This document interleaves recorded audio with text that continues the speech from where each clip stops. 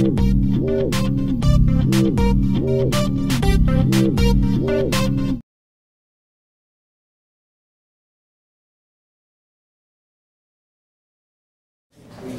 right, we'll call the meeting to order. The regular meeting of the Mason City City Council, June twenty-first, two thousand eleven. Um, Just a note real quick, uh, packets can be found at masoncity.net, uh, down the right-hand side of your government, mayor, council, and then the packets are right there uh, with the uh, agenda. Um, Call the meeting to order, let the record reflect that all, all council members are present. Is there a motion and a second to adopt the agenda? So moved. Second. All those in favor say aye. Aye. All opposed? Motion carries. All right, well, tonight we've got a, a very nice item to start off with. Uh, We have, uh, come on up here, guys. We have with us the uh, Coach Kurt Bonzer and the uh, State Golf Champions in our chambers tonight.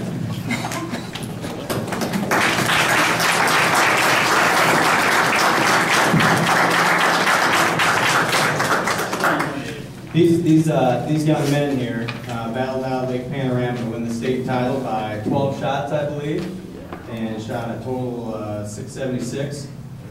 Uh, They're led by uh, Dalton Olson and Jacob uh, Erdahl, and they've got uh, Derek Erdahl, Chris Hall, and Tanner Gribben with them.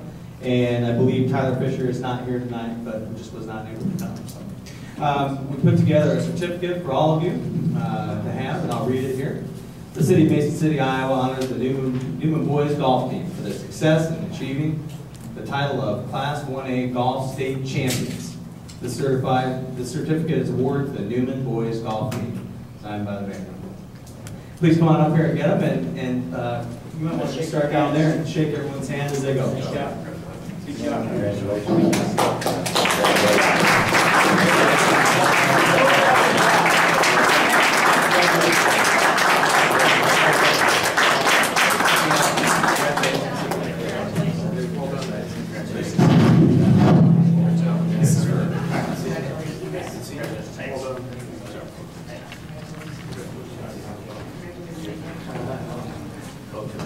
give these young men one more round of applause.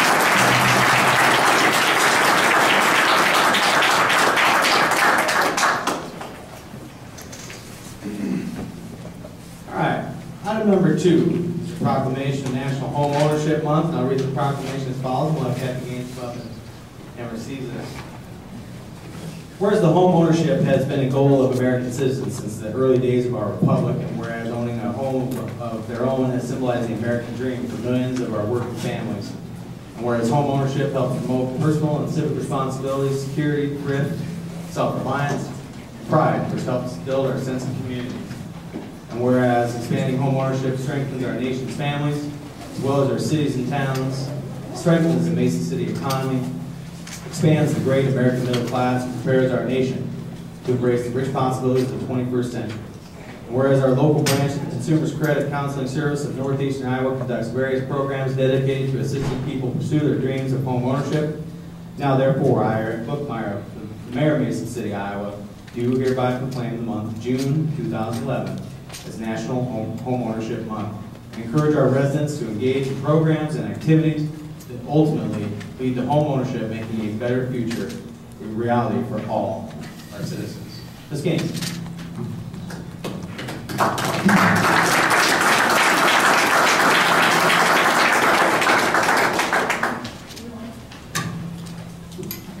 right.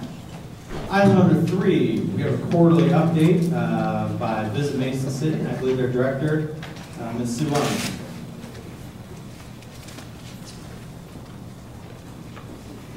Thank you, thank you for having me tonight to give you an update on some of the projects that we've been working on.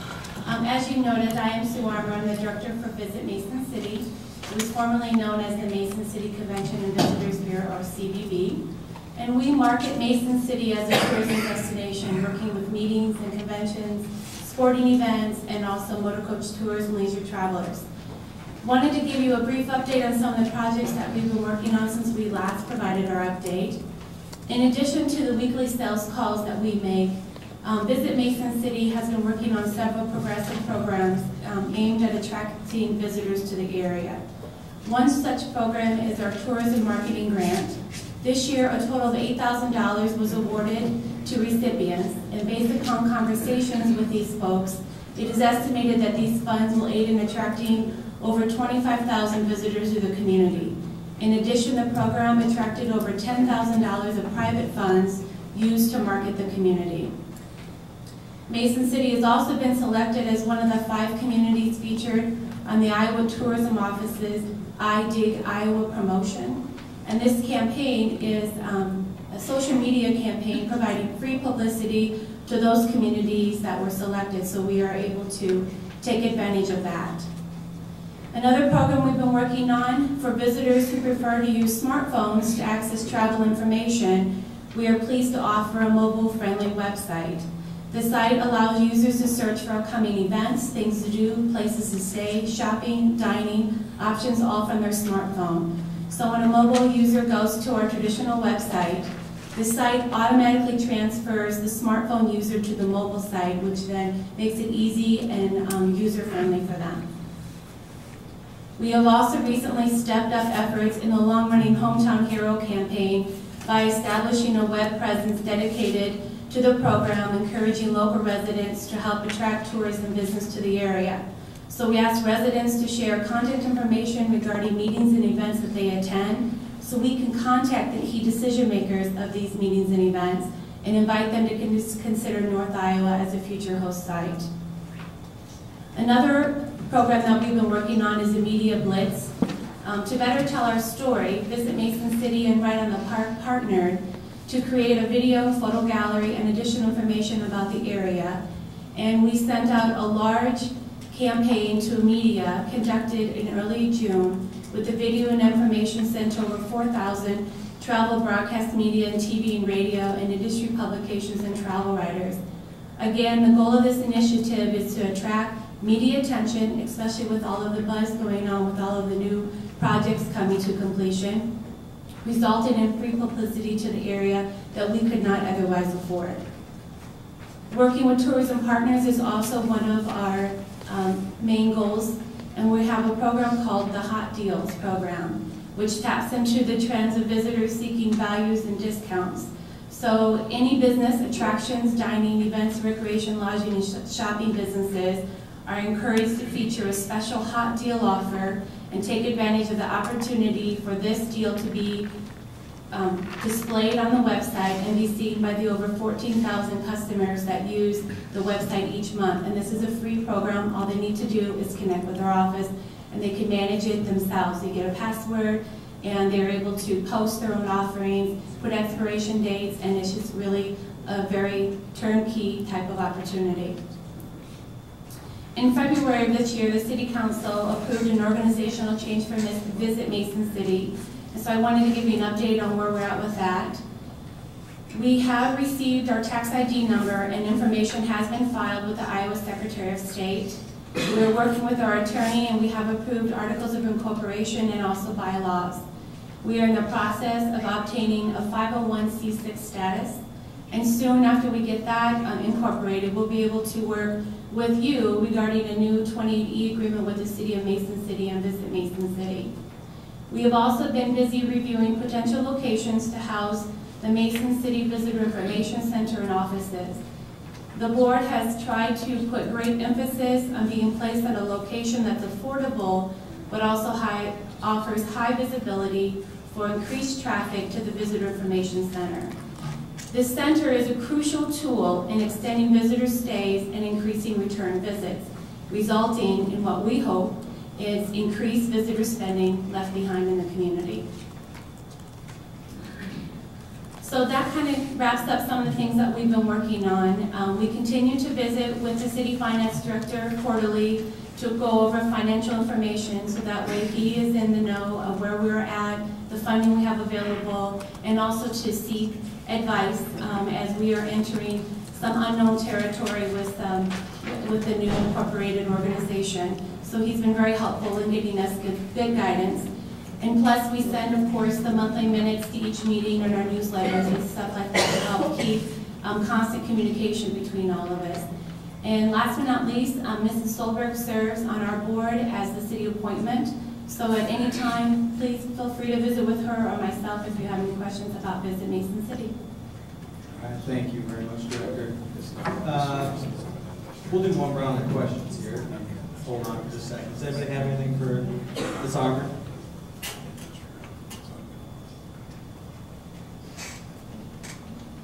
All right, well, thank you very much. Thanks again, it takes a community to do this, and so thank you for being one of our partners.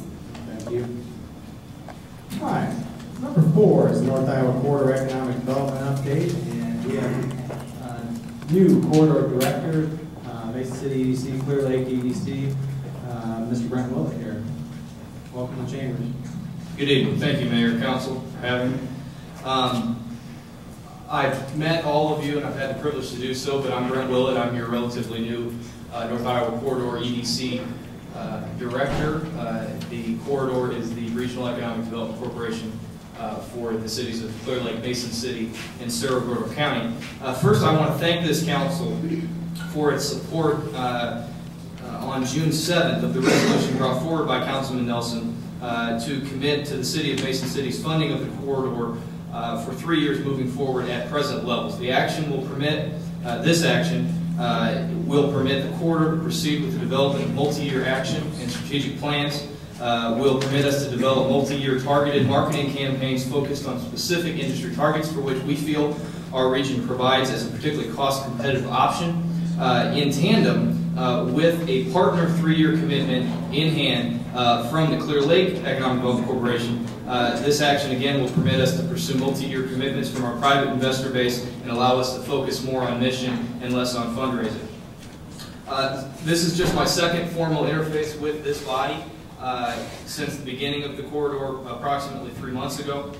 I've had the opportunity to meet with each of you, uh, and I appreciate that opportunity. I feel privileged to lead an organization which ad- which advocates and works toward economic development in a regional sense, uh, in a region with, with as much competitive opportunity, I feel, uh, as North Iowa and Mason City has. Mason City in particular uh, provides several unique and potentially competitive cha- characteristics which we have already been at work uh, in marketing, including a skilled available workforce. Indeed, between 3 and 8 percent of our employed uh, labor shed workforce in our region, that includes Mason City, of course, uh, is listed as what's uh, considered underemployed. Those are uh, mobile professionals uh, and, and workers who uh, are currently employed, uh, skilled, but would consider a transition to another career or job opportunity if the uh, if that was provided. Uh, that is a very uh, strong number for us in the market as it relates to the availability of skilled labor. Uh, We have infrastructure certainly to some sites, although some other considerations are challenges relative to the sites. Some buildings, inventory is relatively thin in Mason City as it relates to available, particularly industrial buildings. How that's a bit of a, uh, a double-edged sword. Uh, We certainly, as a community, do not want to have a high level uh, of available industrial or commercial inventory on the market. However, you do like to have a certain amount so that we're able to market. We're a bit on the thin side, uh, and we can certainly deal with that, and we, we have some that we're working with right now. Uh, we pair some of those strengths with different, but we feel very complementary competitive qualities in Clear Lake and Gordo County. Um, provides the corridor again with the resources and tools necessary to compete in an incredibly competitive marketplace. Uh, most of you have heard me use the number that between 150 and 200 uh, projects of 150 employees or more uh, take place uh, and are closed in the continental U.S. each year. There's about 10,000 economic development corporations like the corridor competing for those uh, projects. So the competition, the competitive landscape is extremely uh, fierce, and uh, we feel uh, very well positioned through the support of the City of Mason City, City of Clear Lake, Gordo County, and uh, close to 200 uh, private investors to compete for some of those projects. I've been, I counted, I've been on the job for 99 days today. Uh, so tomorrow will be day 100. And I've had the privilege of diving right into project work, which is something that uh, any economic developer prefers to do as he begins a new career, uh, a, a new position. Um, of course, I can't comment on most existing projects, uh, but one early result we hope speaks to our focus upon the creation of primary sector jobs and capital investment in North Iowa. Uh, with this body, City of Mason City's robust assistance, uh, Uh, And I I must compliment uh, Brent Trout and his staff for their assistance in this project. We're able to assemble a package of local, regional, and state incentives to attract the Cargill Kitchen Solutions expansion uh, to the Mason City facility. Uh, Of course, that will represent two- $12.5 million in cap- new capital investment and 20 new jobs. Um, With respect to the business attraction component of our uh, job, during the last three months, we've seen very strong stage three activity. We consider stage three activity to be site or community-specific visits of a company. Stage one would be uh, interaction or interface with a prospect. Uh, Stage two would be a proposal from them to us, or excuse me, from us to them, and stage three would be a site and community visit. Um, We feel we've been successful in attracting some potential clients to North Iowa just in the last three months uh, to visit specific sites and buildings uh, for the potential location of their job-creating project. Uh, And in tandem with some of those opportunities, we have uh, uh, reviewed and overhauled uh, our site reception and community on-site visit process and have been able to put those new processes to work. We have overhauled that system specific to site visits. We're now assembling all essential partners, city, county, EDC, uh, staff, landowners, utilities, other critical partners. We're not hiding each other. We're not hiding uh, uh, um, uh, uh, critical partners from each other and and cycling them in throughout meetings. We're putting them all in the, in the room, and we've had tremendous, tremendous support from the city, Mason City, Clear Lake, Cerro Gordo County, a number of other utility partners in in assembling some of these uh, visit experiences. We've experienced high marks from each client we've hosted in the last 100 days, and we feel very fortunate to say we remain engaged in each of those projects that we have hosted sites in the last three months. Uh, With retention, with respect to the business expansion retention leg of the school, we are underway in our corridor business retention expansion program, a targeted program to survey and visit uh, 75 of North Iowa's largest employers. Uh, The reports of the community bearing the results of an uh, an online survey uh, is due to you and the rest of the community on Friday. That will include aggregate information on a number of issues surrounding local business, and we'll then be conducting on-site visits um, uh, subsequent to that. As it relates to marketing, uh, we have, we will continue to work and to improve our website. We have budgeted for wider improvements to northiowacorridor.com in 2012. My commitment to you is we will continue to improve the site. It is incredibly important. About 94% uh, of prospects who interface with our community research us online before they pick up the phone, Uh, and we've got work to do on our site. Um, the, we, we, uh, uh, last month attended the Bioindustrial Biotechnology and Bioprocessing Industry Show in Toronto on behalf of the North Central Iowa Alliance, of which the corridor is a member. Uh, we were a part of the state of Iowa mission. Uh, six direct projects for the state of Iowa resulted of that, uh, resulted from that trade show, at least one for North Iowa, a project we're currently working at the present time. Uh, We're certainly working towards stronger visibility with an eye toward lead development with a number of statewide and federal partners, including the Department of Economic Development, Alliant Energy, our rail partners, uh, E- uh, Economic Development Administration, and the USDA. Uh, Next week, I'll be taking a trip to the Twin Cities to meet with a targeted site selector, uh, uh, group of site selectors in the Minneapolis area as a part of a targeted site selector network that we're working to assemble, including Chicago, Minneapolis, St. Louis, Kansas City, and Omaha.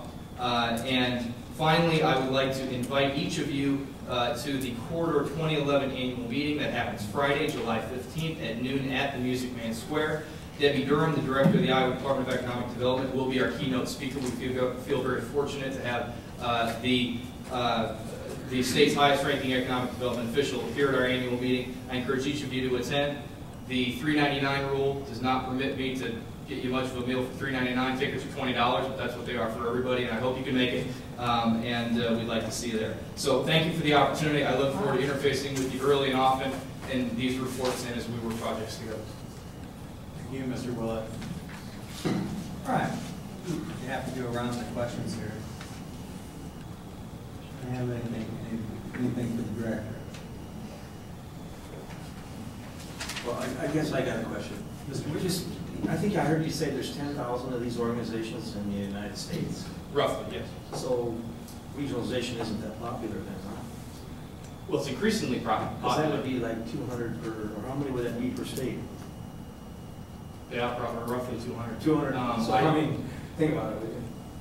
I mean, so regionalization is not, I think, I, I certainly, I, I, think that, I, I think our, our industry is relatively young. Uh, It's about 30, 30 years old as it relates to professional, dedicated economic development work. It's been going on for a long, long time.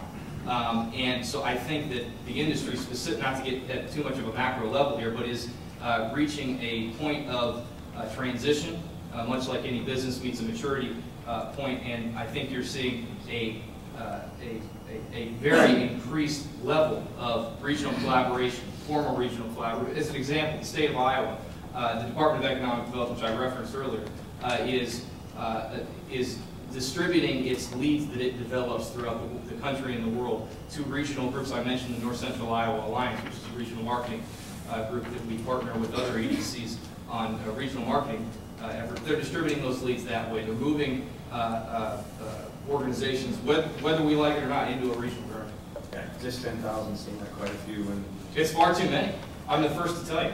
Uh, The regionalism is, is the wave of the present. It is no longer the wave of the future. Uh, we don't have the luxury of competing against our neighbors uh, any longer. Now, at the end of the day, of course, we all come back to our sandbox and we report uh, to, to our boards, our communities, our municipalities.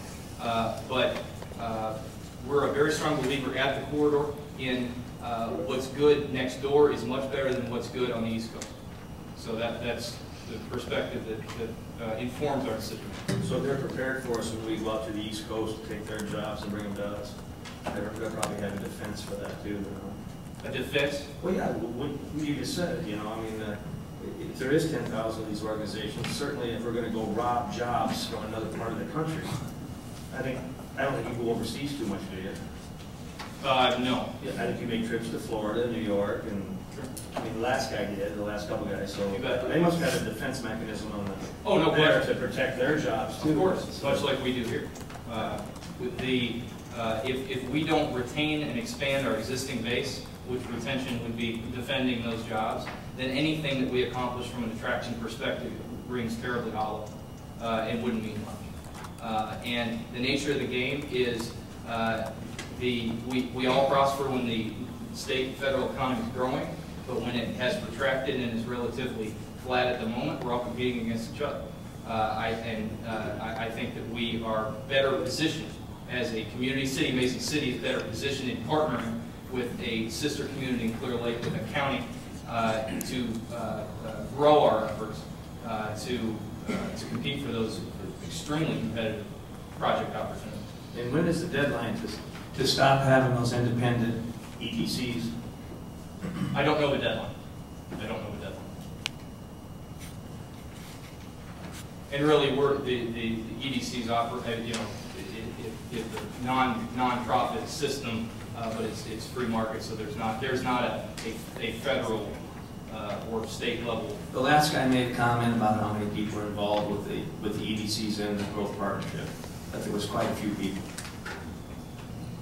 He had Oh, cer, well, certainly, our, our leadership team is, no question. No, I mean, I mentioned we have close to two hundred, uh, private investors, we report to two municipalities and the county. Uh, we've, we've, we've got a board of directors of which Councilman Nelson's a member, uh, and, and so cer I mean, there, there, and we've got, we've got staff, uh, of four, uh, there are uh, hundreds of people involved in our efforts, no So, question. so would lean and efficiency work for you? Lean efficiency work for us? I, I, I think so. I think, I think lean, lean approaches and processes uh, have different characteristics depending on the industry in which you're, you're working. I can tell you, we're under, I can tell, we're, we're undergoing a, an organizational review at our office right now to ensure that we're being as lean and efficient as possible. I don't know that I have license to say that we're, uh, I know that I don't have license to say that we're, we're undertaking a formal uh, lean process, uh, but I can say that we're undergoing an organizational efficiency process. Very interesting. Yellow. Mr. All right. Thank you, Councilman Weaver. Anybody else?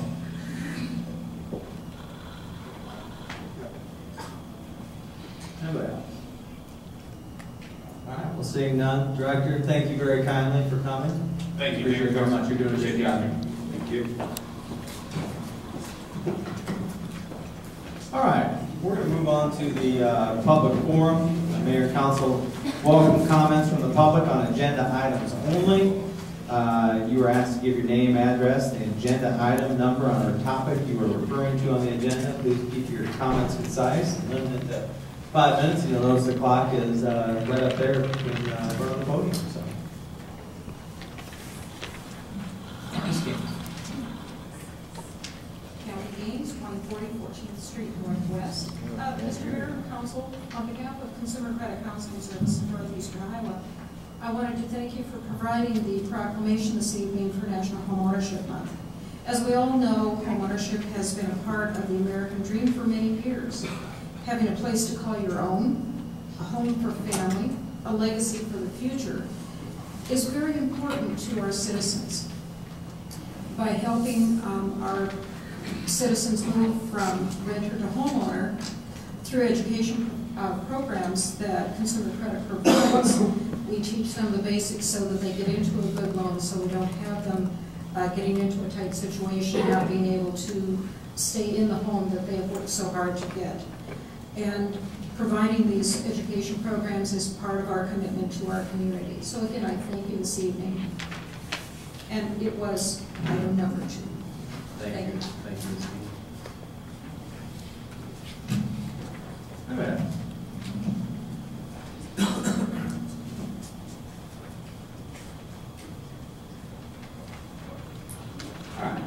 Point of order, Mayor. Uh, you- have explained before how the public forum works, and and I I didn't hear anything before the meeting. Are some of these folks that want to speak here tonight speaking at their their item, or are they speaking at the public forum? I don't that I can answer that, Mr. Weaver. Well, well, okay, then maybe you need to explain how this works then. Actually, don't understand Uh, The, the public forum, anybody can come up and address the public forum as long as there's an item on the agenda that is germane uh, to the issue, so. So this would be the time to speak then, I think is what he's saying. If you have, any of you have anything to say. Thank you, Mr. Yeah. Can you please go to the podium?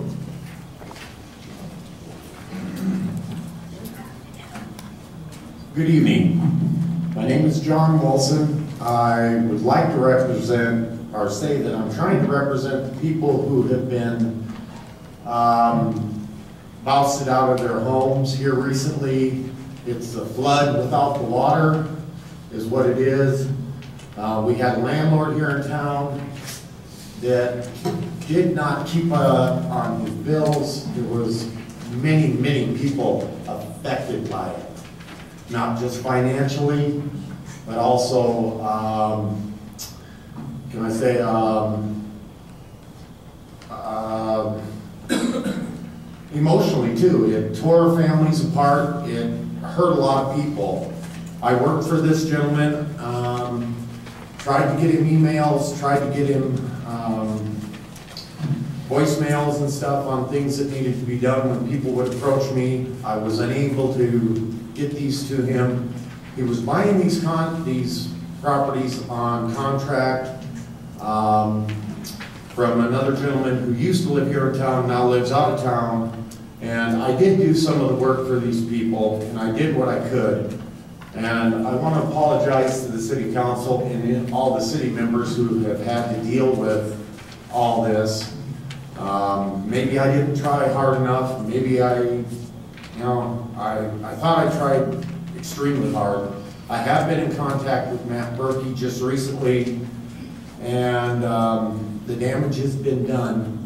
And he doesn't blame any of you people, or even the council, or anything like that, he doesn't blame the city. So what I'd like to say again is, I'm sorry for dropping the ball on my part to you people who have lost your homes and are being torn apart, and also that uh, financially, emotionally, and uh, if there's anything I can do, all you've gotta do is ask. Thank you. Thank you. Go ahead.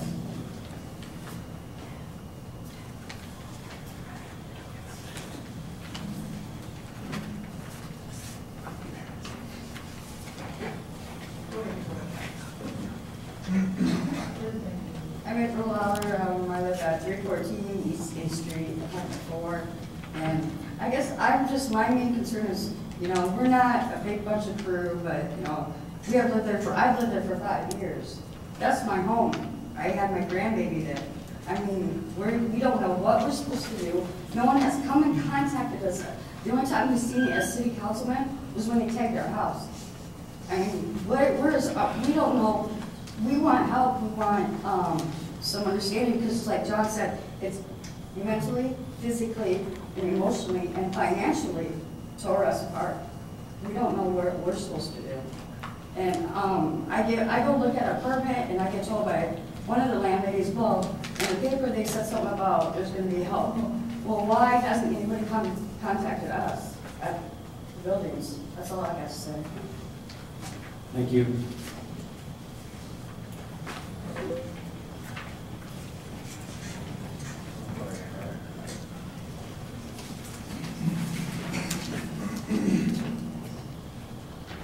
Good evening, thank you for.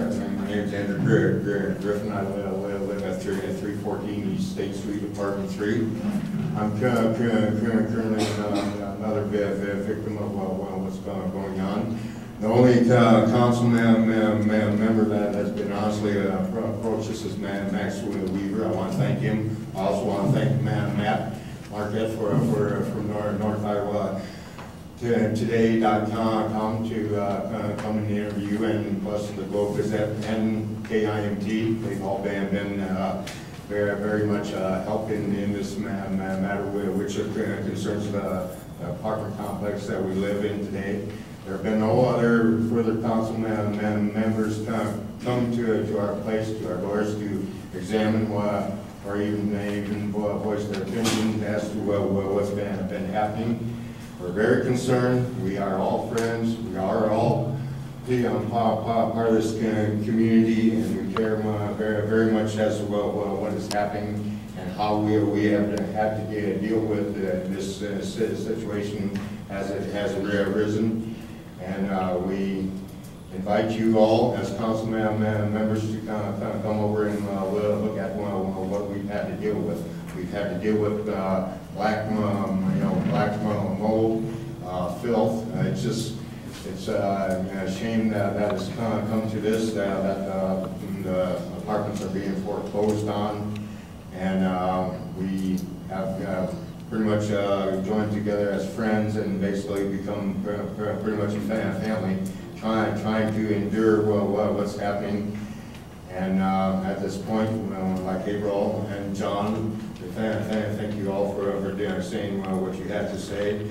We love, love, love you all, and uh, we're, we're all, you know, de- deeply concerned about, like I said, well, well, what's going on. It's affecting us. We're pulling us apart, sending us in so many dire- dire- directions, and yet we have no answers other than, uh, well, what uh, Max Weaver has offered, Matt, and uh, Globe Gazette and KIMT has been uh, wi- willing to do for us. You know, we're, we're pretty much in the dark, our bills still remain the same. The water is being, thre- we're being uh, threatened by the water being shut off, the electricity, which is anywhere from the twenty-third uh, of this month to, to the twenty-seventh. Uh, we're asking uh, that, uh, I'm hoping and praying uh, that uh, the city of Mason City will for- forgive us those debts and allow us to remain in our places until we can uh, find sh- shelter from, from the, the- this storm and move, move uh, forward and better ourselves and be- better our lives and ma- make Ma- Mason City proud, proud, proud, proud of, uh, of just having Mason City. Thank you so much. Thank you.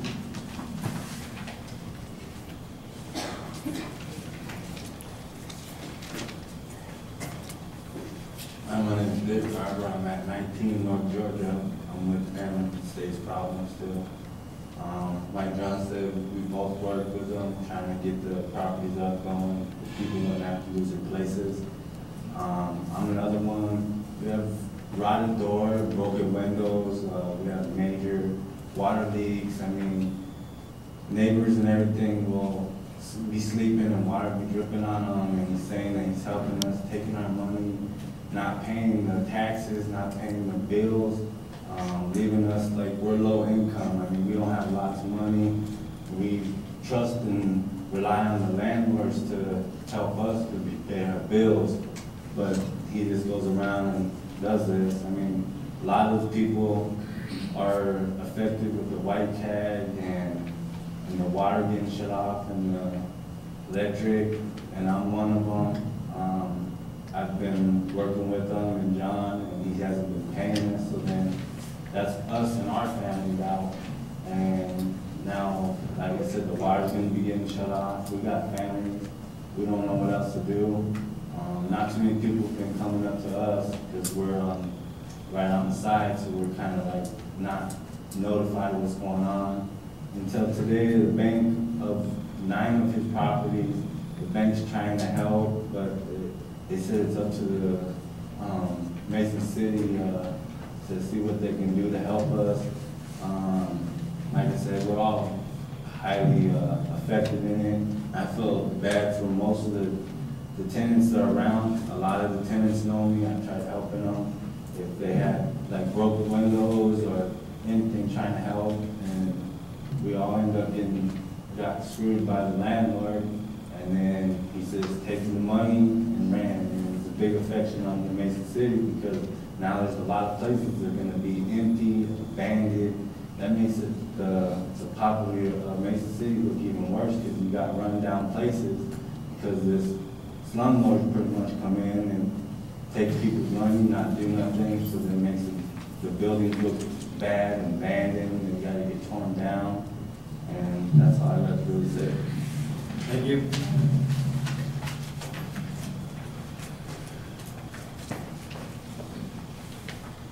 Anybody else?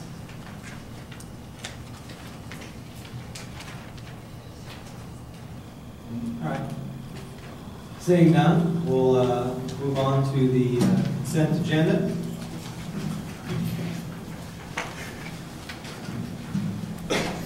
Number five, minutes, regular special and closed minutes of June seventh, and work session minutes of June second, two thousand eleven, and special and closed minutes of June fourteenth, two thousand eleven. Number six, claims, number seven, permits, number eight, unaudited financial report, number nine, administrator recommending approval appoint hire Alan Lambert as street maintenance worker. Number ten, administrator recommending approval authorization of solicit quotes for the installation of an independent small split system cooling unit for the aquatic center pool concession stand. Number eleven, administrator recommending approval, two percent wage increase for non-bargaining employees. B, resolution fixing compensation for certain appointed officials for fiscal year 2011-2012, effective July first, two thousand eleven. Number twelve, administrator recommending approval resolution approving contract and bond for two thousand ten CDBG disaster recovery sanitary sewers repairs project. Number thirteen, administrator recommending approval resolution contract and bond for the East Park Band Shell exterior restoration project. Number fourteen, administrator recommending approval resolution approving change orders twelve A, and twelve B with Henkel Construction Company construction of Nineteenth Street, uh, Southwest Overpass Project, and South Pierce Avenue intersection improvement project. Number fifteen, administrator recommending approval resolution authorizing a contract amendment, supplemental agreement number two with the Yaggy Colby Associates for construction, observation, survey, and administrative services in conjunction with the Nineteenth Street Southeast and Mason City Creek Culvert widening project. Number sixteen, administrator recommending approval resolution approving contract and bond for construction of Nineteenth Street uh, Southeast and Mason Creek uh, Culvert widening project, STP U four eighty two two uh, six two eight seven seventeen. Number seventeen, administrator recommending approval, resolution award of contract to Mid-Continent Contracting, approval of the contract bond for construction of the utility box out replacement project, number nine one oh one three. Eighteen, administrator recommending approval flood two thousand eight, A, resolution accepting warranty deed from six eighteen North Maryland Avenue. B, a resolution accepting warranty deed from property located at six thirty-one Seventh Street Northeast. Nineteen, administrator recommending approval resolution authorizing submission of thousand eleven bulletproof vest partnership grant application to the U.S. Department of Justice to assist with purchase of vests, affirming commitment for local match funds, and author- authorizing execution of grant agreement upon application approval. And lastly, uh, twenty, administrator recommending approval resolution authorizing preparation and submission of a Prairie Meadows Community Betterment Grant, authorizing execution of grant agreement upon application approval. Uh, council, are there any items that uh, you'd like to pull?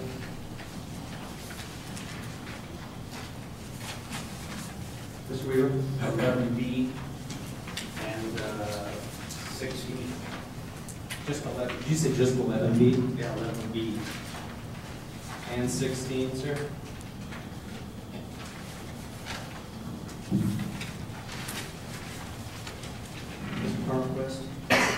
I'd like to pull number seven and eleven A. Seven and eleven A.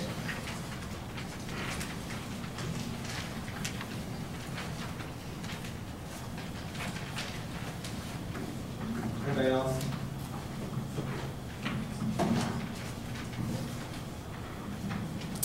All right. Seeing none, we'll entertain a motion on the consent agenda with the exception of uh, number seven, eleven A, eleven B, and sixteen. Is there a motion? So moved. Is there a second? Second. Clerk call roll. Marsters, Yes. Solberg, Yes. Tornquist, Yes. Weaver, Yes. Hickey, Yes. Nelson. Yes. All right, motion carries. Thank you, council. Number seven, uh, do you have a motion, Mr. Tornquist? Yeah, move approval. Is there a second? Second. Yeah, we were copied on a letter from the youth task force here within the last week or so about how they're working um, to basically rate businesses in the community with surprise uh, drop-ins for conformance. And with the rating system that they're doing, it was apparent that they're also maybe in the future suggesting some permits that not be renewed because of noncompliance. And it occurred to me as I was going through this packet, that when we used to get uh, permit renewals, they either had a recommendation from the police chief or a recommendation from the administrator. And at some point in time, we quit doing that. I, I don't really recall when we quit doing it or why we quit doing it, but I guess what I might ask for, or at least um, for the sake of discussion, is might we put a mechanism in place so that the council will know when the packets come before us, if there's a recommendation for permit renewal that may pop up contrary to the good work that the youth task force is doing. I know they've been working with Sheriff Pals, and uh, there's a good consortium of people working together. And, and I would like to be able to do whatever I can do to support that effort. I can, I can let you know that uh, Diana sends these out, and the police department and the fire department still do their review. We just haven't put anything in the packet, so. We've never, we've never put those sheets in the packets. So basically, if it's, if it's on here, it's been recommended for approval. Um, But we can add some language that'll, that'll show you that, so that you're not uh, having to guess as to whether they were recommended for approval or not. All right, thank you very much, Mr. Tornquist. Anybody else have? any? All right, we've got a motion and a second. Seeing uh, no other comments, clerk call the roll. Tornquist, Yes. Marsters. Yes. Nelson. Yes. Weaver, Yes. Hickey, Yes. Solberg. Yes. All right, motion carries. Number eleven A, Mr. Tornquist, do you have a motion? Move approval. Is there a second? Second. Mr. Tornquist? Yeah, I would just like to put this in context and maybe review a little history of how this came about. Uh, My recollection, uh, Mr. Administrator, was when you and the finance director made your initial budget recommendation on the operating side of the ledger last January. You were recommending a one percent increase for non-bargaining employees. Yes, that's correct. And it's my recollection that we, we went from one percent to two percent based on council initiative. Yes, there was a suggestion made that we consider a two percent increase. And if, if I could ask Kevin a question here real quick, I just would like you to confirm. Mr. Director?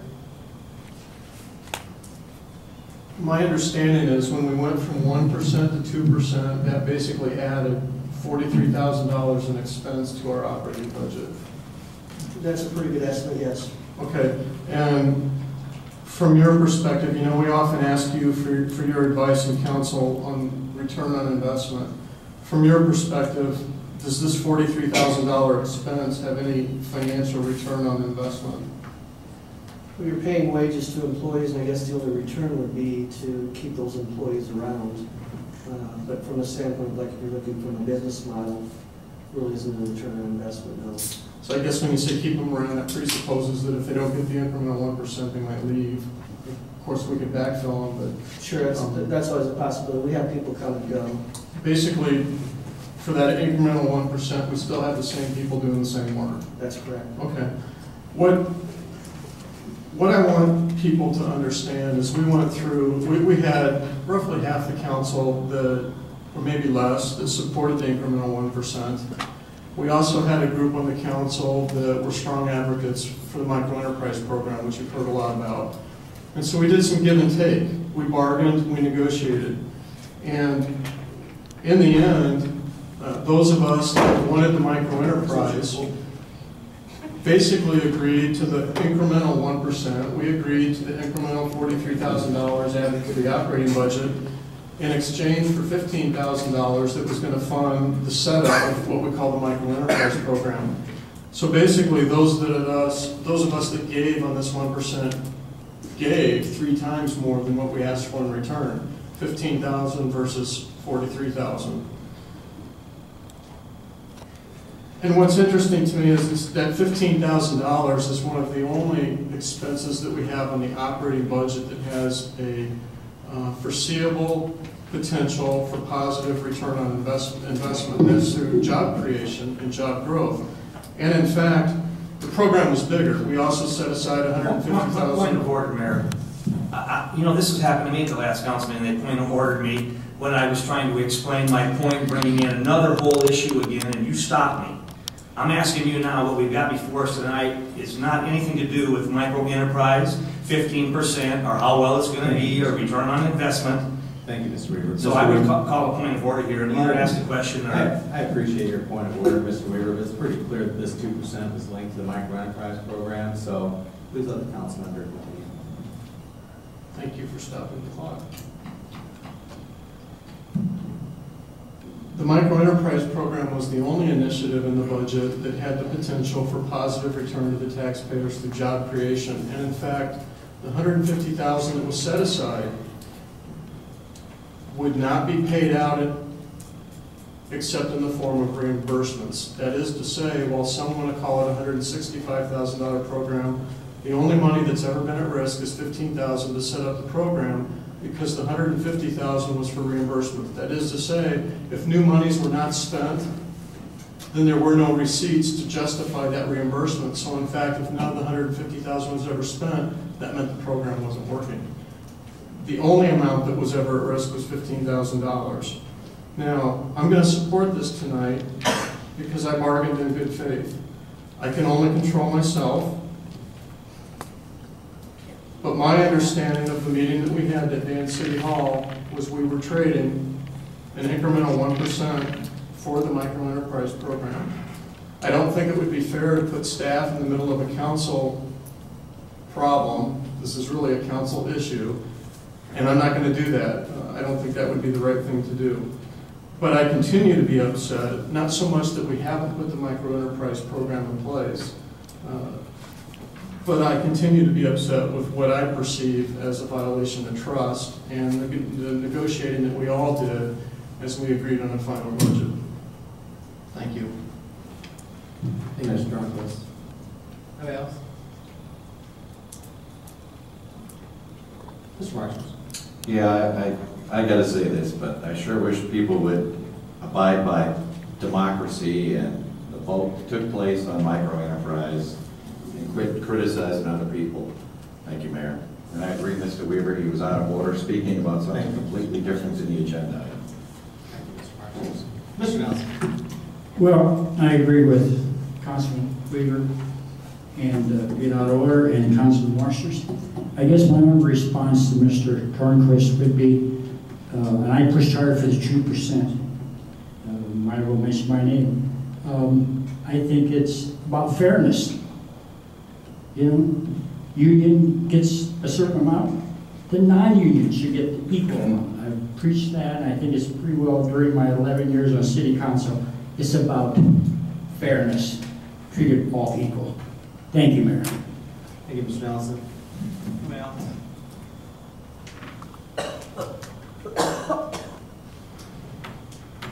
All right. Seeing none, we've got a motion and a second. Clerk call. Tornquist? Yes. Hickey? Yes. Solberg? Yes. Weaver? Yes. Nelson? Yes. Marsters? Yes. All right, motion carries. Thank you, council. Eleven B, resolution fixing compensation for certain appointed officials for fiscal year 2011-2012, effective July first, two thousand eleven. Mr. Weaver, do you have a motion? I, I don't have a motion. You bold. Yeah, I, I, I don't, I don't have a, I don't have, I mean, Can someone offer a motion for Mr. Weaver? I'll move approval. Is there a second? Second. Thank you, Mr. Hickey, for the second. Mr. Tornquist, would you like to? No. Mr. Hickey? Anybody else? Mr. Weaver? yeah, I, I was just curious, uh, could somebody interpret section three for me? You know what, I, I I read this, I'm sure I've seen this before, but what does that mean? Really, could somebody break that down for me? I, I, I have an understanding of that. And, and then, uh, two, I just have a question, uh, I suppose they have separate contracts, the, uh, city administrator and the, uh, human resource attorney slash city attorney, and when do those come before us? As far as the, the section, not a legal expert, but. uh, Well, we have a legal expert in the Right, and, but my understanding of it is that relative to the fact that if one part was deemed to be ruled unconstitutional, um, the other parts stay in place. What, what, what does this got to do with being unconstitutional? It's- Explain it to me. It's a standard, art, it's a standard part of many I don't know, man, it's- ordinances. Right, as far as the contracts relative to uh, myself, City Attorney Meyer, um, Mr. Meyer decided not to take an increase this year, so his won't be before the council. Normally, it would be in this location, and mine is related to the approval of the, per my contract, which means that whatever non-union receives an increase, that's the increase that I receive. What, uh, you want me to read this section three, or, or do you want to read it? I probably should slower, because you'll just read, go through it like it was, uh, you know, carpenter with his hammer. If any section, provision, or part of this resolution shall be adjudged to be invalid or unconstitutional, such, such adjudication, adjudication shall not affect the validity of the resolution a whole, or any section thereof or part thereof not adjudged invalid or unconstitutional. What, what does that mean, actually? Uh, It's gonna be basically, simple, but what is it? This, Mr. Weaver, is boilerplate standard language in the resolutions and ordinances. If a court would ever say that any of this is unconstitutional, any part of a resolution, obviously, this is a simple resolution. That, the, the remainder that is not determined to be unconstitutional will still be valid. So, so this piece of paper here could be unconstitutional? No. All right, that's what I was wondering. And I didn't know, I didn't understand the government, you know, I'm gonna be, you know. And I got my other answer, uh, that uh, you're gonna receive two percent, and Mr. Meyer, for whatever reason, is not taking an increase this year. That's accurate. What? That's accurate, yes. Okay. Hey, Mr. Weaver. Anybody else? We've got a motion and a second? Call the roll. Tornquist? Yes. Hickey? Yes. Marsters? Yes. Silver? Yes. Nelson? Yes. Weaver? Yes. Thank you, council. Number 16, administrator recommending approval resolution approving contract and bond for construction of the 19th Street Southeast and Mason City Creek Culvert Widening Project. Mr. Weaver, you have a motion? So moved. Is there a second? Second. Thank you, Mr. Morrison.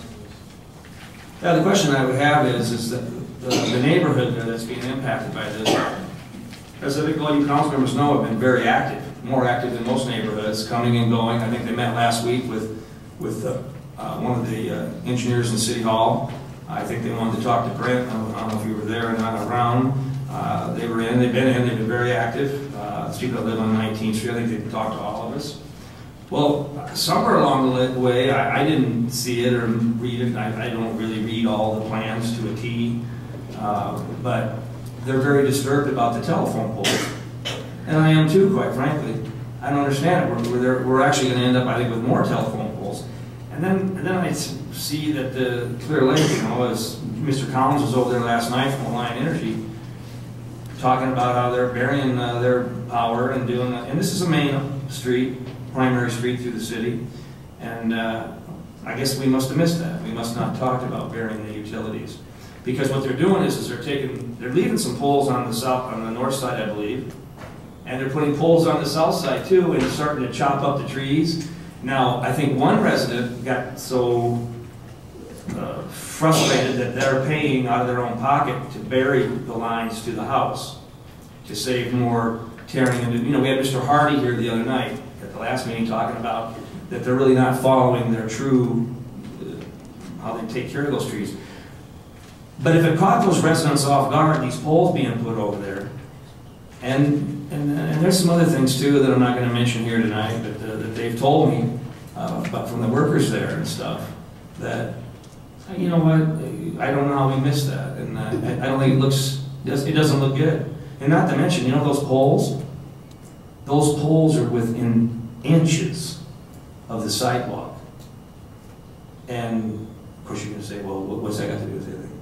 Well, you know what, I just saw a little guy down on the 300 block of 19th Street. I was more concerned about him being barefoot, but his family was putting him on a bicycle to learn how to ride.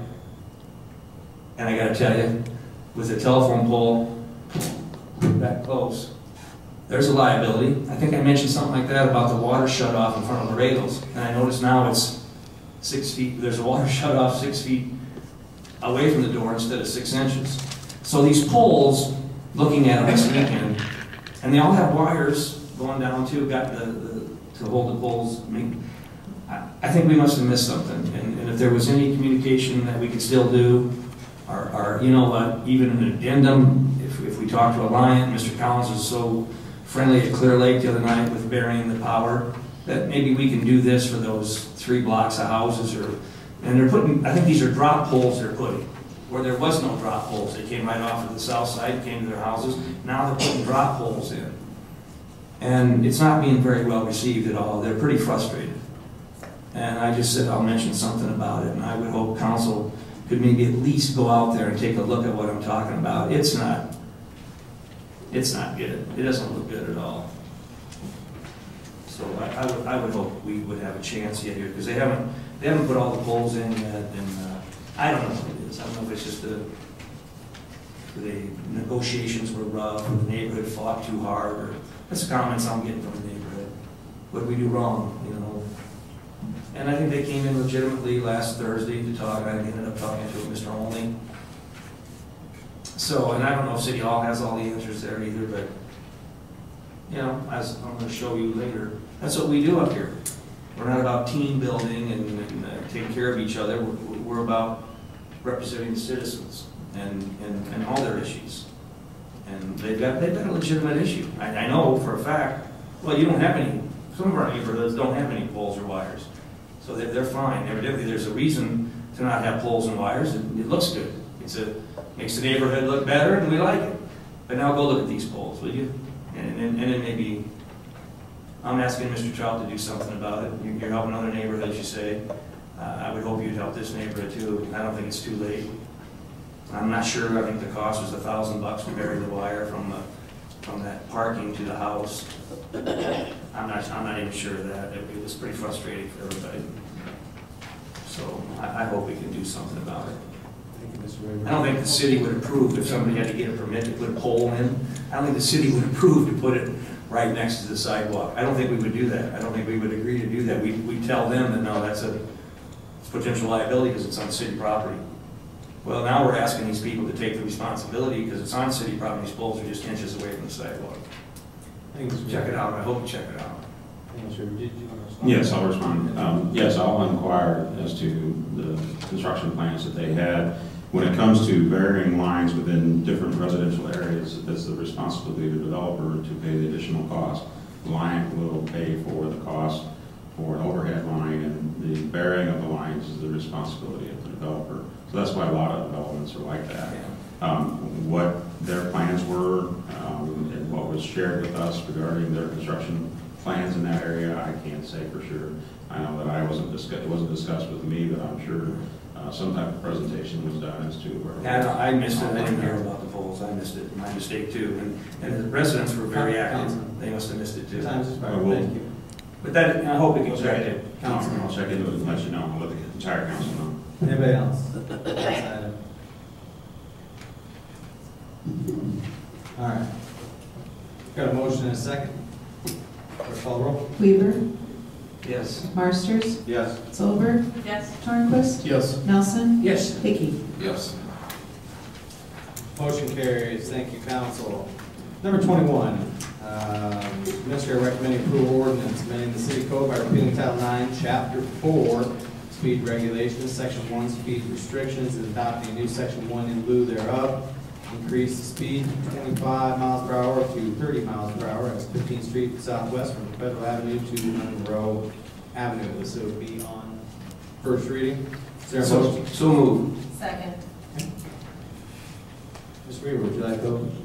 No, this has been on the table for years. Uh, I think I first brought it up back in the nineties, and uh, I think it, uh, a couple people that, li- that use it all the time brought it up four years ago, and, and uh, I appreciate whoever finally got around to doing this. I think it's, I think it's a pretty good idea.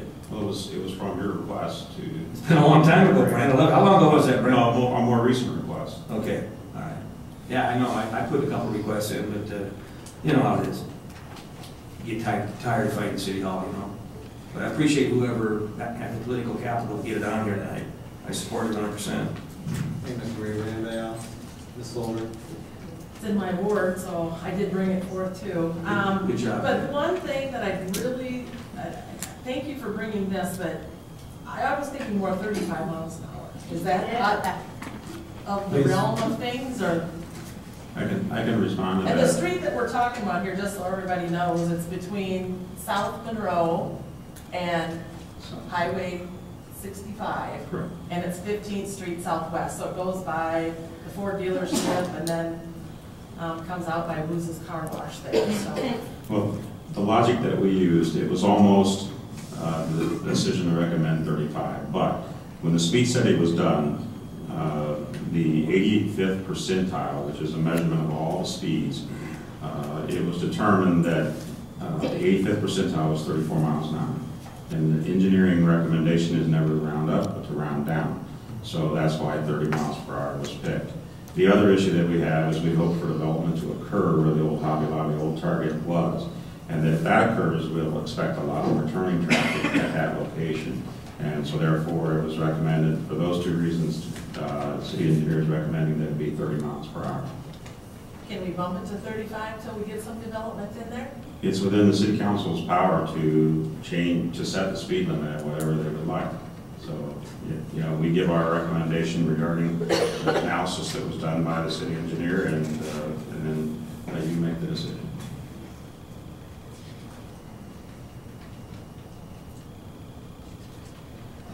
We do have the extra lane on each the north and the south side. Is there any way to bump the north lane over so you still have that extra turning on the south side?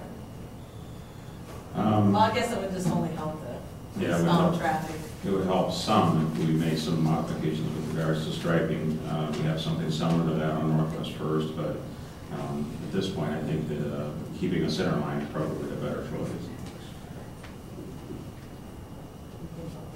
Um, my question I would have would be for you, who's in the big group? Council. You are. Oh, I like it. Just responding to a question from I'm another just, I'm just person. curious if it, if Go ahead, there'd be enough support for thirty-five miles an hour, Well, you because can I'd be always, happy to. you can always amend the motion.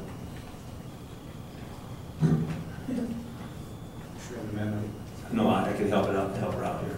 Go ahead, Oh, Appreciate it. ahead. Don't- Don't, don't- don't give me trouble. Ms. Solberg, this I know, is- this is my time. This I is think your I'm, I'm time. gonna leave it for right now. Okay. Thank you. Anybody else?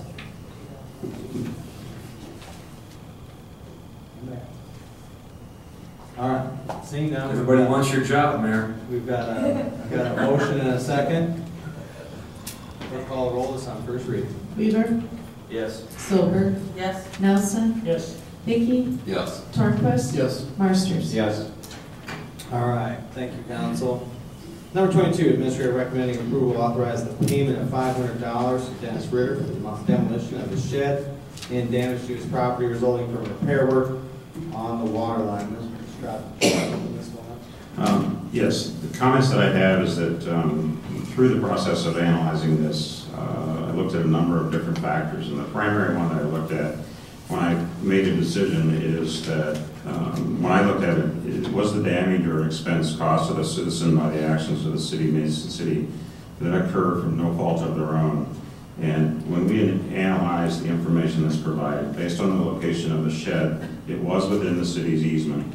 Um, And so at that point, then it is in an incorrect spot, and it's the responsibility of the property owner to uh, locate the easements that exist within their property and not place any of uh, their buildings or structures or anything that they would not want to have to tear down outside of that easement. And so for that reason, I was not interested in, or not supportive of recommending uh, a larger sum for the purpose of uh, the moral obligations insurance.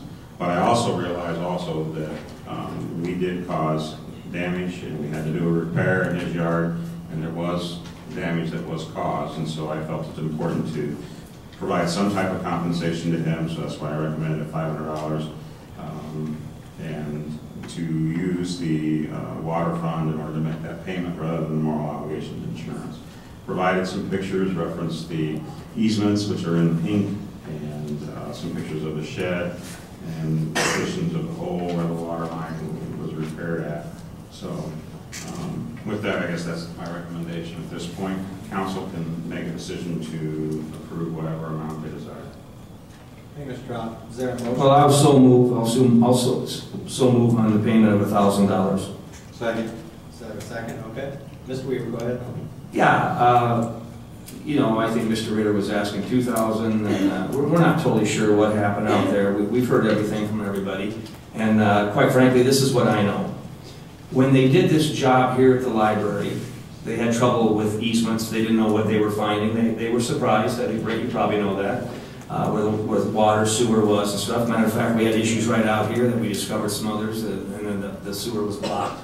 And um, quite frankly, nobody in the city, not an engineering office or second floor, can guarantee where any of the easements are at or where pipes are lie.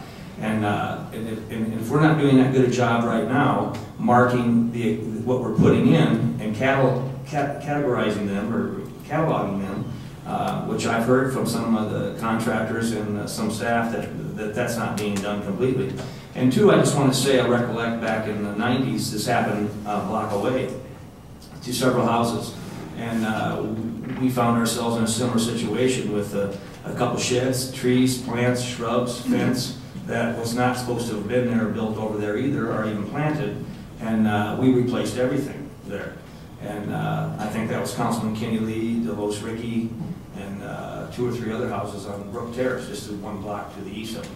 So I don't think we're, and, and plus I did ask a staff member, I could- could this happen again out here? Do we know where everything's at and where everything?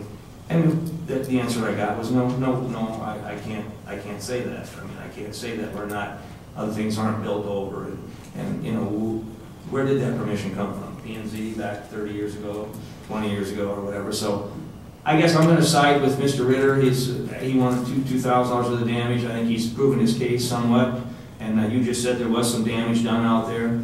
And uh, so I'm gonna, I'll, I'll- I'm gonna stick with what I agreed to a month before it got tabled or pulled, a thousand dollars. I think there was four of us that said we'd do a thousand dollars, so I'm gonna, I'm gonna stick with that. I'm gonna keep my word on that, so, thank you. Thank you, Mr. Weaver. Anybody else? Mr. Hickey. Well, I'll tell you what I know. Two months ago, Mr. Weaver gave me a call, asked me to go out to Mr. Ritter's site with him, and I met him out there. Um, we went and seen it, and yeah, some of his yard was tore up. Um, I don't know the logistics wise of whether he was on an easement or not. But the part that really kind of disturbed me about the whole thing was he had some damage.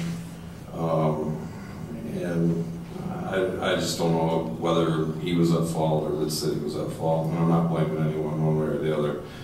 But the thing that I did see when I was there, um, about two weeks later, Mr. Weaver approached me at City Hall and says, hey, what are we gonna do? we're gonna do anything for Mr. Ritter. And I says, well, I'll talk to Brent about it, and we'll move forward and, and see what we can get done. In that time, Max told me that, uh, we better do something. This is consuming Mr. Ritter. He's went through a lot, and I agree with him. I think he did. And he told me also, he said, if we don't do this, one of us may get a bullet in the head. Now, when that was told to me, I found that very disturbing, and I took that serious, and I said, what do you mean? And he's like, well, it's not gonna be me. I can tell you that, and if it does happen, it's gonna go to the papers, and I'm gonna squeal. And I'm gonna turn you all, make you look bad. Well, I took that pretty seriously. And in that time, I went to the mayor, I went to Mr. Trout, uh, Mr. Lashbrook got involved, and uh, I think some statements were took. And the one thing that I think, in talking to the chief, is he asked me if Mr. Ritter was capable of this, and I told him no. I said I didn't think so. I thought it was just Max being Max.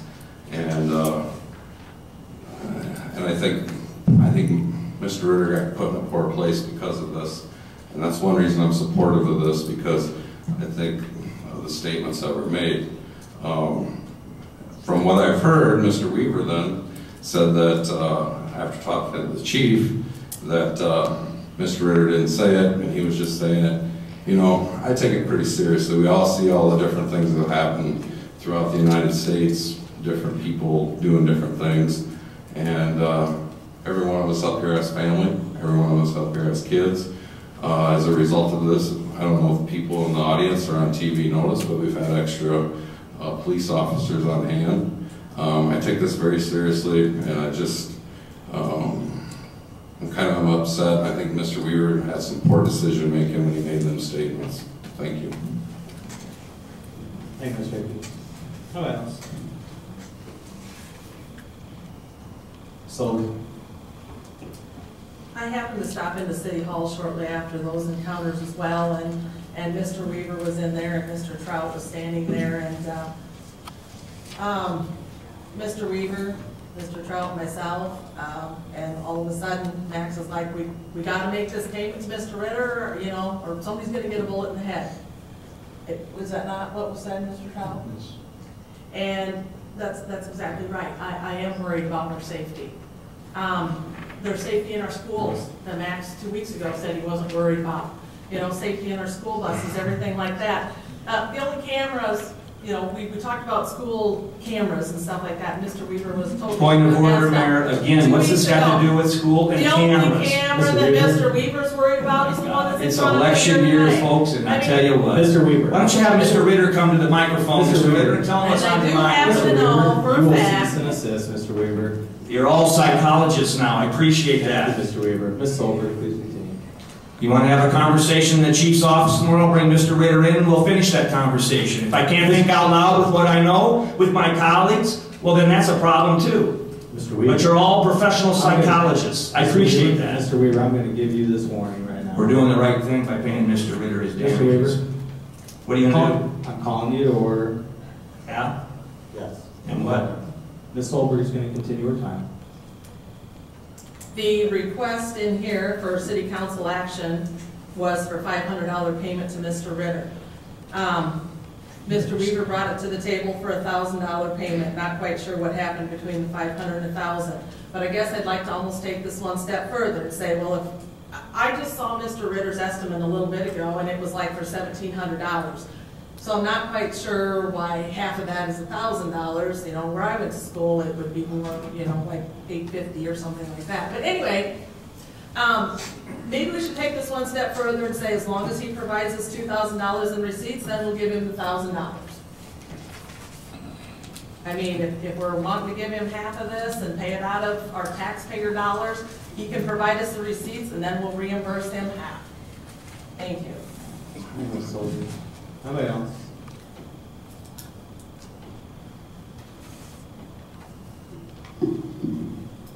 All right, got a motion for uh, thousand dollars. I have a response. Sure. Mr. Hickey. I got one more thing I want to add to this, it even gets better. When I was there at Mr. Ritter's place, Max told Mr. Ritter, he said, I want one thing from you if I give you this thousand dollars. Mr. Ritter says, what's that? And correct me if I'm wrong, Mr. Ritter. He says, I want a political yard sign in that front yard of yours on Sarah Road Away come November. And you know what? It's not right. Um, I question your motivation on helping Mr. Ritter on this issue. Uh, it's supposed to be about the citizens, but I don't think it's been that way. That's where I'm at. Wow, okay. I get your thinking, Travis. Thank you, Mr. Hickey. I really do. Mr. Weaver, do you, Uh, well, that was clearly a joke because Mr. Ritter had, is it Mr. Ritter? You got seven or eight yard signs laying in Half a dozen signs in the last 20 years, and they're still out there. Yeah, he had all kinds of yard signs in the yard. Go, I want a yard sign in my yard. It was clearly a joke. But you know what, uh, Travis, we're all seeing what you really are and who you're working hard for. You know what, why don't you leave that stuff off the council table and out of the citizens' business? If you can't, as much as you hang out at the bars and drink and joke, don't, you know the difference between a joke and somebody that's making a threat? Now, you're accusing me of blackmailing Mr. Mr. Ritter. Did you take it as a blackmail, Mr. Ritter? I didn't think anything about You it. didn't think anything about it. How do you like that, Travis? Now, putting words in Mr. Ritter's mouth and mine, you- you're an amateur psychologist, and also what, you're his, his, his son? There's something wrong here with what's going on here between the two of you. And I never said anything about giving fifty percent or whatever. And if you want to have a meeting at the police department tomorrow with Mr. Ritter, I'll finish your statements for you tonight, then I'll expect you to make an apology to me and the community and Mr. Ritter for bringing up what you brought up tonight. You know what? You should worry about taking care of your own uh, ward, Travis. That's in your ward. I had to call you. That's the bigger issue. That, that's in Jan Solberg and yours ward. I had to call you to get involved. I appreciate that, Travis. I see what you're doing. This is an election year. Mayor, could I make a point of order? Uh, You concluded, Mr. Weaver. Mr. Marsters. Well, it's always been policy at the city council table to refrain from personal attacks and to stop the personal attacks. And I've witnessed three people make personal attacks, and I think it should have been stopped at the start. Thank you, Mayor. I appreciate your comments. I personally do not think they were really personal attacks, more representation of the events that they saw. So, anybody else? Motion to extend debate. Is there a second? Second. I would say Call for a that- second here. We got- we got to vote. Um, I'll let the clerk call the roll on this. We have a motion, a second to extend debate. Hickey? Yes. Solberg? Yes. Marsters? Yes. Nelson? Yes. Tornquist? Yes. Weaver? Yes. Mr. Hickey? Okay, well, I'm sorry if you feel it was a personal attack on Mr. Marsters. Um, I would take a bullet to the head as personal attack any day, I guess. attack me, I'm- Um, Mr. well, Marsters, I'm Mr. just- Marsters. I'm Hey, saying hey, hey, hey. facts that have happened pertaining to Mr. Ritter and the issue. at Quiet in hand. the gallery. And these were comments that were made. I haven't brought up more that was said because I do have more, but when it was said, and it wasn't said or not, Mr. Ritter, I never said nothing like that. no. Yeah, there you go. Okay, whoa. The yard sign, was that not said What or about the not? yard signs? I had a yard sign up for you a couple years ago. I know it. This is all political. Please don't ask, everyone call to order. Please don't ask anybody in the, in the gallery. Okay, So, but anyway, I- I'm sorry, I took it serious, and uh, if you can't handle it, you shouldn't have said it. And I found it very inappropriate when you said it, and I think everybody else here should have took it serious and found it inappropriate as well. If he did say it, and he didn't have that intention, why would you even say it in the first place? Okay. Thank you, Mr. Hickey. Mr. Nelson? Well, I think the lesson here is this. When you get a call or meet with a fellow council member, be careful what you say. It's unfortunate that we can't say things one-on-one without being repeated, even if it's joking or not joking. Um, I, what went on tonight is unbelievable, and I, I, I assume Councilman Weaver was joking. He jokes like we all do. I've made statements of that nature uh, in a joking manner. And I hope that we just stop this, bringing what so-and-so said privately or on the telephone to me. That isn't what we're here for. We're here to do the citizens' business, aren't we? We didn't do a very good job on this last agenda. Item. Thank you, Mayor. Thank you, Mr. Nelson. Oh, else, Tom? Ms. Solberg? I am going to agree with Mr. Hickey on this. First off, I want to mention that I did happen to drive by Mr. Ritter's house because I was parked across the street and observed uh, Mr. Ritter visiting with Mr. Hickey and Mr. Weaver, and uh, Travis's son happened to be there as well. And uh, comments like this just really hit hard, you know, it, it comes at you, it could hit your family, and innocent bystanders. Do these people at Columbine or anywhere else, did they, did they want to take this seriously? Absolutely. This is not a joke. Sorry, folks, there's no joke here. This is serious stuff. Thank you. Thank you, Ms. Solberg. Anyone else out here?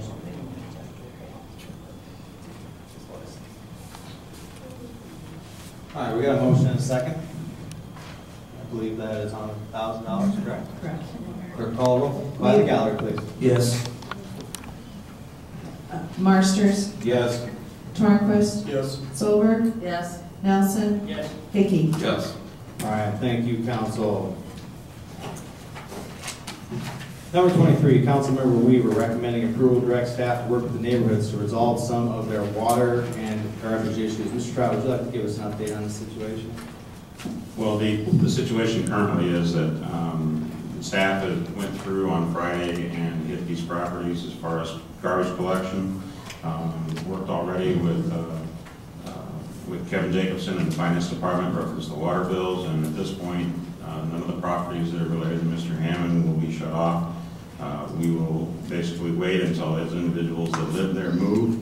Um, Hopefully, they're able to find accommodations, uh, uh, but we'll work with them. Uh, Hopefully, by the end of July, they'll have that accomplished. and- But we'll continue to work with them, you know, through that time period and to accomplish that. I also heard from today from Alliant Energy spokesman, and they intend to honor the same commitment that we have, reference electrical. And uh, so right now, we're going to be continuing to work with them, reference which property owners, or which locations they are, and uh, get that accomplished. Obviously, we want to thank Bolt Services for agreeing to pick- continue to pick up garbage after we got it cleaned up. Um, As far as issues relative to uh, the conditions that existed in some of the places, I think that uh, we need to continue to put the good word out that um, the rental housing inspector is there. If you have problems with your landlord and there are issues that need to be repaired, we have, uh, you can file a complaint and they'll come and investigate and determine whether or not they're, they're being compliant. And so, you know, please take advantage of that. That's why we have that system. Um, My understanding from Mason City Housing Authority was that uh, there are still three left that are still looking for places. And uh, hopefully, everything works right, they think they'll have somewhere for them by the end of the month. And uh, so that's where I'm at right now. Hmm. Right, and if, if a location is white tagged, we worked with uh, Lionel Foster, and he brought forward to us that there was a, remind us, there was a provision in the code that if we white tag a particular resident, uh, apartment complex, that you're not required to pay the rent until that uh, situation is fixed. And so, uh, we're trying to make sure that individuals understand that if they are white tagged, that, that that is possible, uh, that they don't have to pay the rent until their situation's fixed. All right, thank you, Mr. Trout, good work. There's, Somebody have a uh, motion? I would still uh, make a motion just for the record, and uh, if you don't want to pass it, that's fine. I still have a couple things I'd like to talk about, or I can do it at the microphone. But I'd make a motion that we direct staff to continue to work with the neighborhood. Okay. Uh, And the motion, as, as you have in here, is direct staff work with neighborhoods to resolve some of their water and garbage issues. Mhm. Sound like they were resolved, did it not? Uh, no, I'm not sure they were, but I'm making a motion that that we direct staff Could I, to. could I make a a friendly second? amendment? Sure. Sure. Uh, I'd also like to have a letter sent to the residents Right. Yeah. explaining the details for those who are not present or left already. Friendly amendment. That's, I'm going to be speaking to that in just a Is there, second. And I'll is there- second it. Is there a second, okay? Mr. Weaver, go ahead. Uh, yeah, you know what, I, I, I got the phone call from Cindy, uh, last uh, week, and, um, I think she also called, uh, two or three media outlets, and I, I was, I showed up and I talked to them, and they hadn't heard from anybody from the city. And I talked to them on Friday again, and I talked also today, and they haven't talked to anybody from the city. They haven't been in, in touch with anybody, but they, they hear and they read about that all their problems have been resolved. So your amendment is absolutely correct, is that they haven't talked to anybody from the city. No one's shown up out there that they know of that's knocked on their door. And actually, what you said tonight about Alliant, I think they have. What I witnessed was they pulled two meters from, from some apartments already. They shut the power off. People are living without power. So that already's happened, right? That might be news to you, but So there's a lot of miscommunication, almost like every issue we have here at the city council level, that the things don't add up or, you know, how, how it goes. So my point tonight is, is, and Jeff, your amendment is, is a very friendly amendment, that we keep in touch with them via mail or stop by, uh, and visit with, because what I've heard today, they haven't talked to anybody. They haven't seen any representation from the city, city council, but they, they hear their lives are gonna be perfect. And two, I want to say, when I was first there, and the reason I put it on the agenda, and Mr. Trout called me Friday morning and asked me if I would be willing to take it off the agenda, this issue. And I told Brent then too, Travis, you might want to pay attention to this, she might be able to correct me. Uh, I said, uh, one, one lady so just beautifully told me that, you know, this is our flood without the water. And when I was there and everybody I talked to and the things that I saw was, was pretty close, now on the head. I didn't take any offense to that at all they didn't know what hit them. So I would hope that we pass this tonight, that we, that we continue to work with them be in touch with them, talk to them. And maybe, have you been out there, Brent? No, I haven't. There's uh, 57 properties, spread out close to 80 people, and it's not just on East State Street, two blocks from the mayor's house, and two blocks away from a $50 million uh, investment downtown. Might want to check those figures too. But anyway, uh, so I think it's important for many reasons to help out here. So I I would hope that you guys uh, pass this tonight, just in in, uh, good faith. Thank you. Hey, Ms. Weaver, anybody else? Mr. Marsters, do you have a second? Well, I'd just like to request, and I would expect you would anyways, Mr. Trout, but we could copy the same information that the residents are sent. Sure. Thank you. Hey, Mr. Marsters? Anybody else down here? Mr. Tornquist? Yeah, I'd just like to thank staff for the efforts that you've made here in the past week. I think this problem caught, caught all of us by surprise. It caught you guys by surprise, and obviously it caught all of us by surprise. And I think you've made a lot of progress in the past week, and I appreciate the efforts that you've done. And in fact, um, staff has gone over and above what you would normally expect um, city government to do in a private issue. And I think it's very good that we've intervened. Um, Obviously, you need some help beyond your means, and and I believe that staff has really stepped up to the plate and will continue to do so, and I appreciate that. Um, The other thing I'd like to mention is, is, and and I don't want to come across as scolding, but I need to be honest with you, it bothered me a little bit that there were criticisms that you haven't seen more council persons. And what I'd like to share with you is at any point in time, most of us have more issues stacked up than we can deal with, and we have to prioritize. And when this issue came to my attention last week, it was very apparent to me that staff was all over it. Yeah, there's still some things to do, but staff is aware of those things and they're working on it. And so from my perspective, it was under control. And I've got enough to do that I don't need to go looking for problems. If you need me, call me. I return every phone call, I return every email when people ask for me. 641-425-3185. That's my work number. It's a cell phone. If you don't get me, leave a message. If you need me, I'll come. Max mentioned he was out last week because you called him. Nobody's called me. Hey, Mr. Tornquist? Else down there? Ms. Solberg? I just want to add to that, that all of our numbers can be, uh, the deputy clerk, Diana, if you call City Hall, all of our numbers are there. If you don't want to, you know, if we're not in the phone books, whatever, they know how to get a hold of us, please call us. Thank you. Hey, Ms. Solberg? All right, well, we've got a motion and a friendly amendment uh, for the letters. We have a Second, so clerk call the roll. Weaver. Yes. Marsters. Yes. Nelson. Yes. Tornquist. Yes. Hickey. Yes. Solberg. Yes. All right, thank you very much, council. Uh, Council has some business to attend to in closed session. Uh, Upon affirmative uh, vote of the city council, council may go into closed session pursuant to chapter twenty-one point five point one C Code of Iowa to discuss strategies of council and matters that are presently in litigation or where litigation is imminent, where its disclosure would be likely to prejudice or disadvantage the position of the government body in that litigation. Uh, Do we have a motion and a second? Could I ask a question first, Mayor? Please. Is there any reason we want to, we can have to make all these people wait for the public input session non-televised afterwards? This is, just happens to be the agenda, sir. Well, I don't. understand, but can't we alter it? We alter it all the time. I can't see making You people altered wait it for fifteen Cargill extra three meetings minutes. ago, you changed the agenda. We're asking you that too. I don't understand. It's just a request, Mayor, that's all. It just seems ridiculous since We nobody, paying an don't have attorney fees here here. from uh, somebody out of town? Councilman?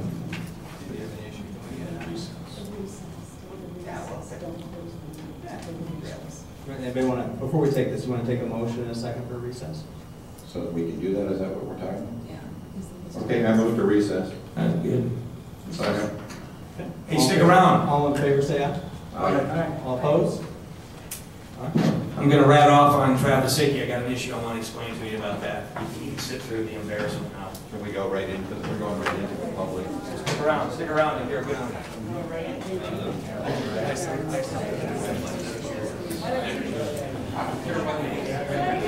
Hey, hey, hey, hey, hey, get this guy out of my face. Get out of my face. Get out of my face. What are you gonna do about this? Guy's gonna do it. Get out of my face.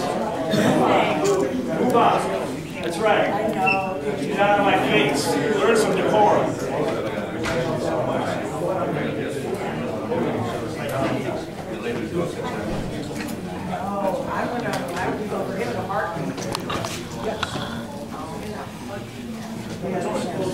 Let's get started here without the, without the mic.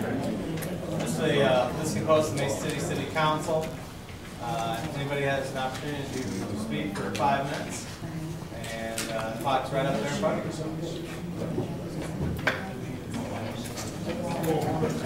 Guess we could have gone into closed session. All right. you. Quiet the gallery.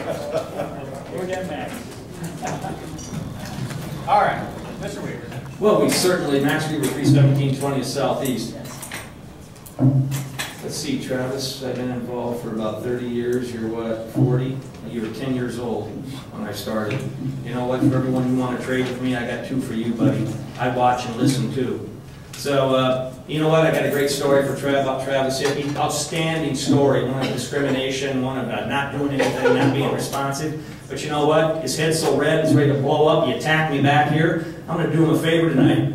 You know what, I'm gonna let it go. But I'll be glad to tell any of you that want to know about it. Just come out and ask me sometime. It's election year, that's what we're gonna start doing. We're gonna start cannibalizing each other. We're gonna move Mr. Weaver out of this position because, uh, you know, we, we gotta get our micro enterprise. We gotta get all the things that we, you know what? Quit worrying about Mr. Weaver and worry about yourself and the good things that you do. You know, and I don't know what, what some of you do behind the scenes, but I'm real aware of what some of you do in front of the scenes. You know what, that's not even necessary either. And I've gotta tell you something, I said, I said this 20 years ago at this microphone here.